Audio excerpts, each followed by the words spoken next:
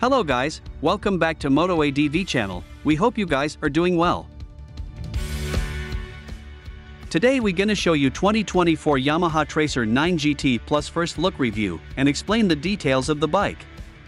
We hope you guys enjoy it, please don't forget to subscribe for more videos, thanks for watching.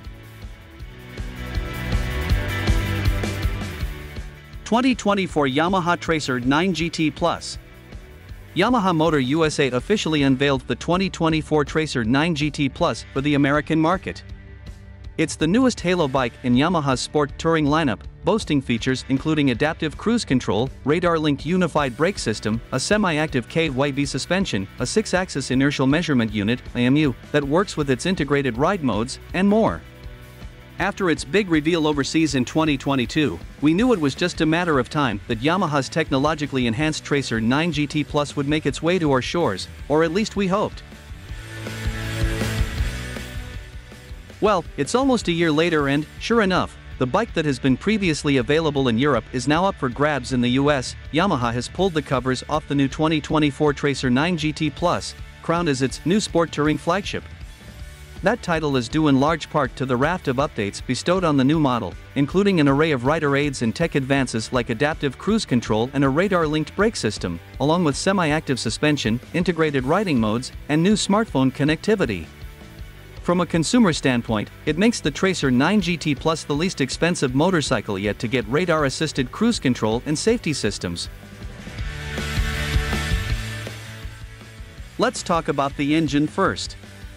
The 2024 Tracer 9 GT Plus is powered by Yamaha's liquid-cooled, dual overhead cam, 890 cubic centimeters, crossplane crankshaft triple, CP3, engine.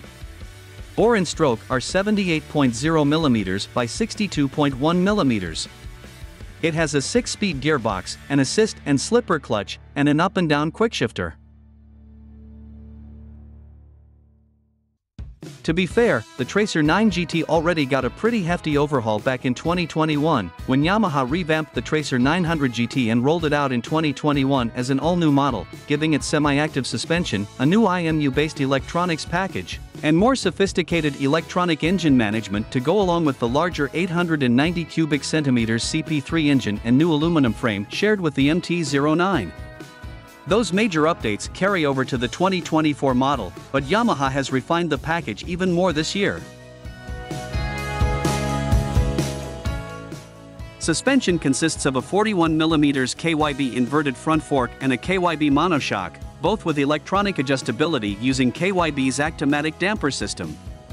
This semi-active suspension takes data from the IMU and uses it to adjust the suspension on the fly according to your present riding conditions.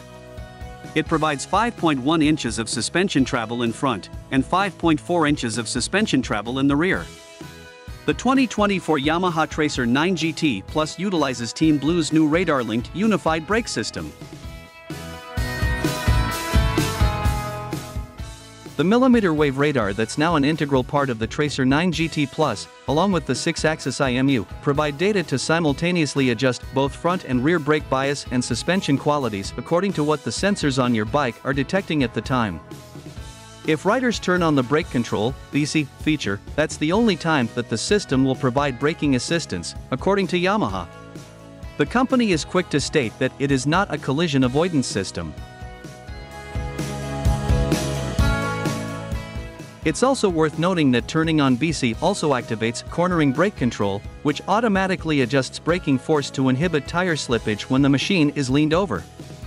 What about the mechanical components of Yamaha's braking system on the 2024 Tracer 9 GT Plus?